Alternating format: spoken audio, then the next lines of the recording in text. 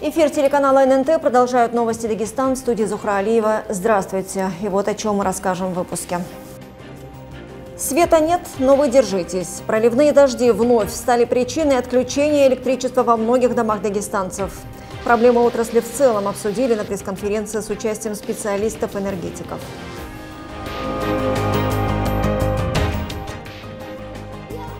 Аварийная школа под контролем властей. Председатель правительства осмотрел проблемный объект в Унцукульском районе.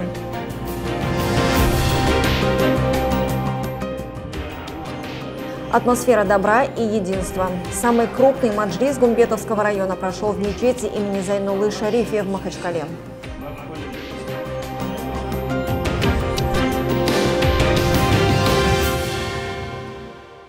Дагестан снова в лидерах, но в этот раз по росту стоимости за один квадратный метр в новостройках.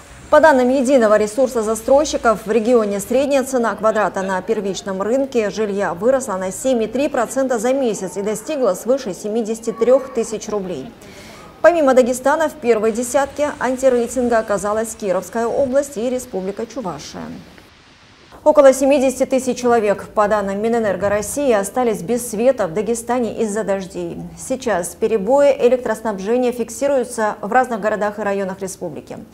Проблему, ежегодно нарастающую как снежный ком, обсудили на пресс-конференции на площадке РИА Дагестан.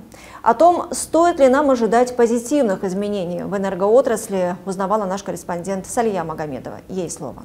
Эта пресс-конференция может смело претендовать на звание одной из самых длинных за последнее время. Почти полтора часа диалога, и весь он посвящен проблемам электроснабжения в Дагестане. Первым выступил министр энергетики и тарифов республики. Марат Шихалиев рассказал, что для подготовки наших изношенных сетей к осенне-зимнему периоду удалось добиться дополнительного финансирования. Помимо порядка 550 миллионов, которые были запланированы сетевой компанией к подготовке к зиме, а эта цифра была всеми сторонами признана крайне недостаточной и не обеспечивающей проведение там, э, всех необходимых мероприятий.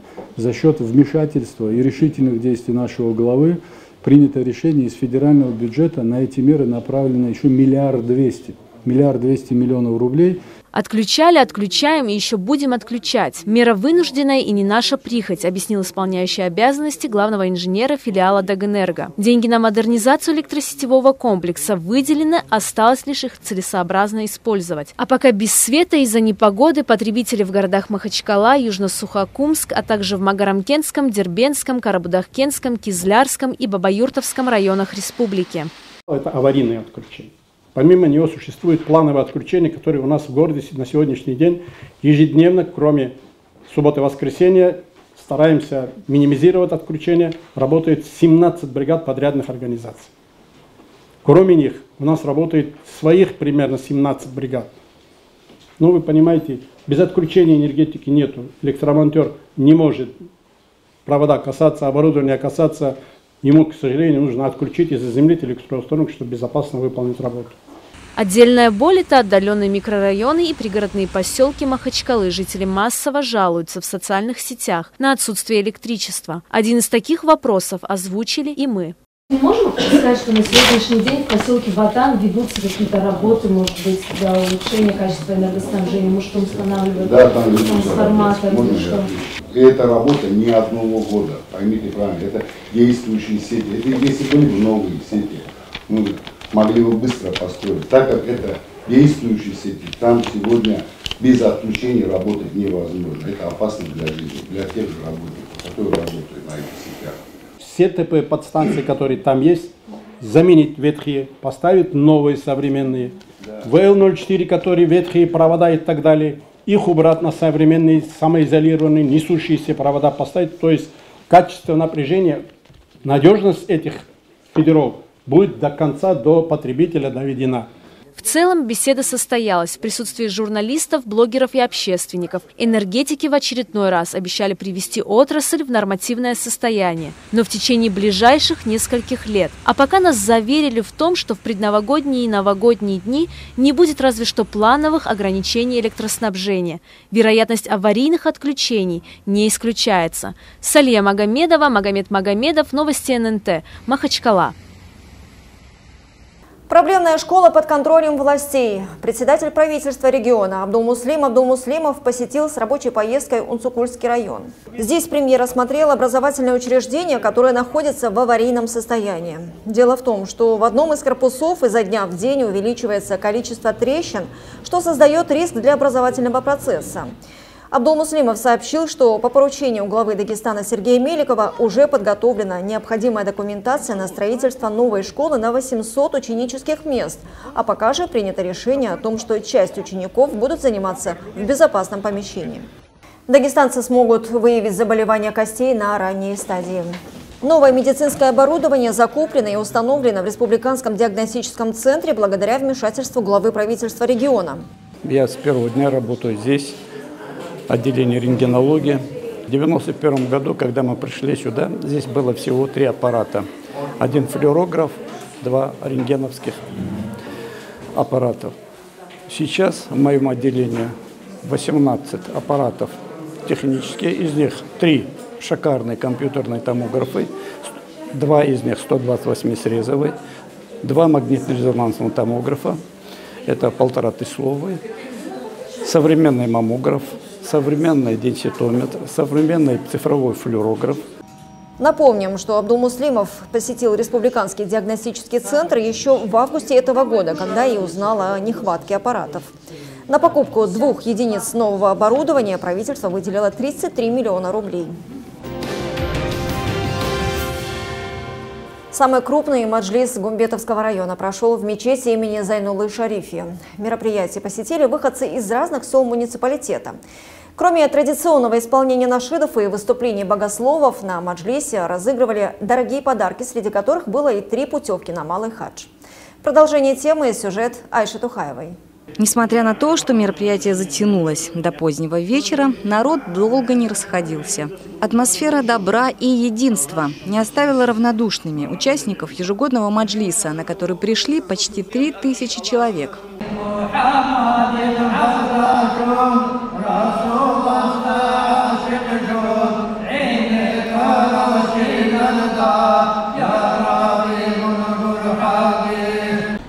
Министерство национальной политики и делам религии является главным исполнителем комплексного плана противодействия идеологии экстремизма и терроризма.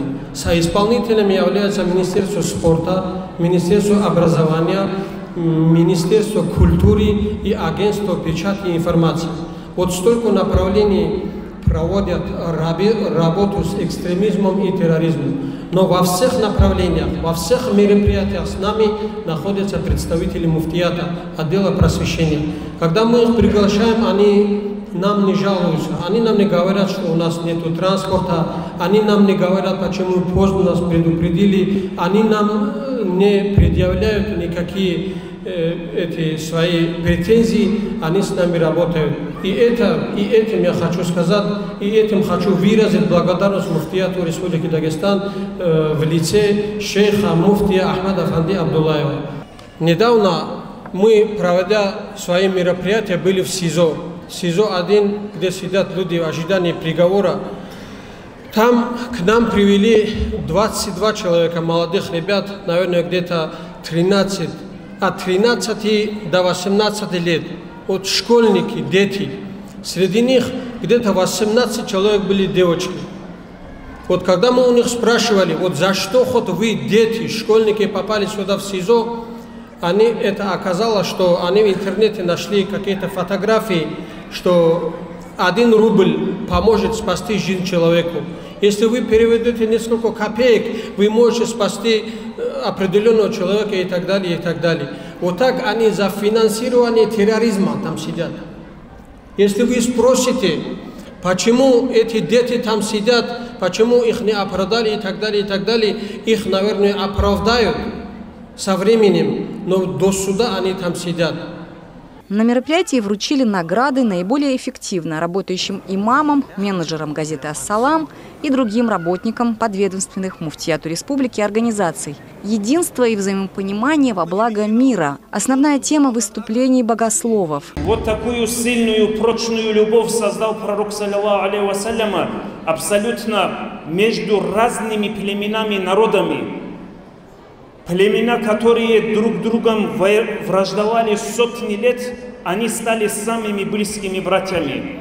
А это стало тяжело, знаете кому? Мунафику, о котором мы сегодня говорим. Мунафикам стало это тяжело. Абдуллах ибн Убай, когда однажды между людьми простыми всячески бывает разговор, ссора, разногласие между ансаром и мухаджиром, случилась такая стычка. После того, как они разошлись, на месте собрания, где собрались мединцы, ансары, тут же воспользовавшись этот негодяй, глава всех мунафиков Абдуллах ибн Убай говорит, вы сами виноваты, о мединцы. Вы сами виноваты в том, что этого презренного Мухаммада приняли с его сподвижниками. Вы сами виноваты в том, что поделили свое имущество пустили, приблизили их к себе. Я прошу Аллаха, чтобы Аллаху Та'ала нас одарил искренностью, защитил нас от лицемерия. И когда нужно за ислам, за имама, за муфтия, за халифов, за пророка, саллиллаху алейхи вассаляма, когда нужно говорить, чтобы мы могли говорить, остановить мунафиков хотя бы словами. Да поможет Аллаху Та'ала нам в этом. Вассаламу алейкум ва рахматуллахи ва баракату. Мавлид традиционно был посвящен примеру жизни пророка Мухаммада, мир ему и благословения, и его сподвижников. Главная задача подобных мероприятий – это объединение верующих во имя мира и спокойствия в регионе. Айша Тухаева, Ислам Халиков, Дауд Гасанов. Новости ННТ Махачкала. Смотрите нас также на нашем телеграм-канале. А у меня на этом все. Добрых вам новостей и до встречи.